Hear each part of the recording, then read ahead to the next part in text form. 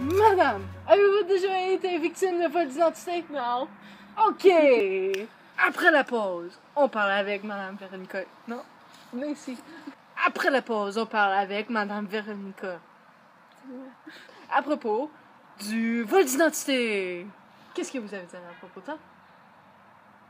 Rien! Après la pause.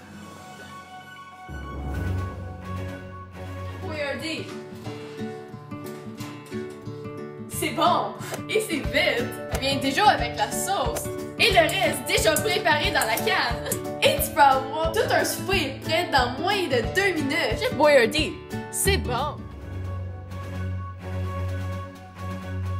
Ici Camille Ryu. Aujourd'hui, on est chez la maison de Véronica Caillouette. Ça c'est moi. On fait un reportage à propos du vol d'identité. Alors, on va se promener en arrière de chez elle. Ah, ben là, Caroline. Caroline. Ah, ok. Aujourd'hui, on va parler avec les cartes de crédit. Vous voyez cette piscine? Oui. Vous l'avez procurée cet été? Oui. Ok, vous l'avez acheté avec carte de crédit. Oui. C'est ce qu'est-ce qui est arrivé? Quoi? Rien. C'est ce qu'est-ce qui aurait pu arriver? Quelqu'un aurait pu prendre votre carte de crédit et acheter plein d'autres choses. Oh. C'est le vol d'identité. Et il y a plusieurs vols d'identité. On va les dire après la pause. Le goût qui te frappe d'en face. Minuit, euh, euh, minuit. Me revoici. Alors, on a parlé plus tôt. Tard. On a parlé à propos des vols d'identité. On a parlé de un vol d'identité qui est avec la carte de crédit. On va parler comment l'éviter. Alors, si vous allez en ligne, faites attention, répondez pas à n'importe quoi. Comme, quel est le nom de votre chien? Marc-Antoine? Bon. Puis là, après, il va demander, c'est quoi le numéro de ta carte de crédit? Tu devrais-tu le dire? Oui. Non! Mauvaise réponse! si vous aurez fait ça quand que vous avez procuré votre piscine, vous aurez été en dette. Grosse dette. Des millions, des milliers. Ben non. Mais quand même. Comment est-ce que je peux éviter cela? C'est facile. Moins utiliser votre carte de crédit, allez à la place de piscine. Ici à Châteauguay, Trévis Piscine. Vous pouvez procurer votre propre piscine. Ils vont l'installer pour vous. C'est magique. T'es-tu Harry Potter, toi?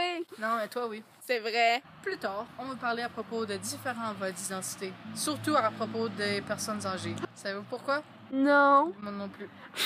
Après la pause!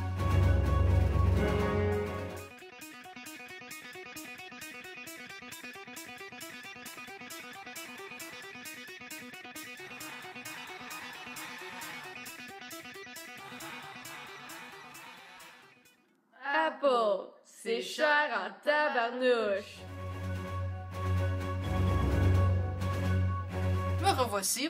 Alors, prochain vol d'identité est sur l'Internet. Ouh. Je sais.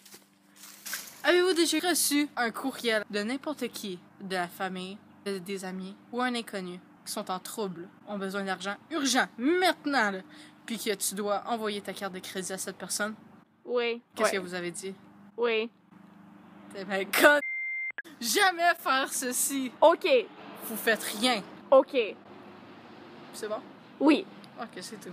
Quel reportage? Par moi, de moi, de vous, de tout le monde. Le vol d'identité est souvent fait sur Internet. C'est pourquoi que les personnes âgées sont plus susceptibles à ce crime. Ils sont moins expérimentés que les personnes, les ados, les... je sais pas, là.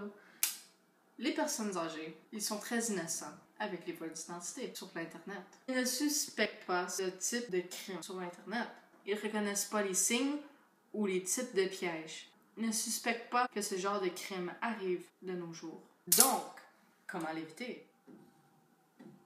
Ne répondez pas aux courriels des étrangers ou d'un membre de famille qui demande votre carte de crédit. Évitez de mettre des infos personnelles sur l'Internet. Essayez d'utiliser votre carte de crédit et carte de bancaire le moins possible. Quand tu utilises tes cartes de crédit ou bancaire, utilise-les juste à des places connues ou à des places que tu fréquentes souvent. Quand tu veux retirer tirer de l'argent, va à ta banque et pas à des machines ATM.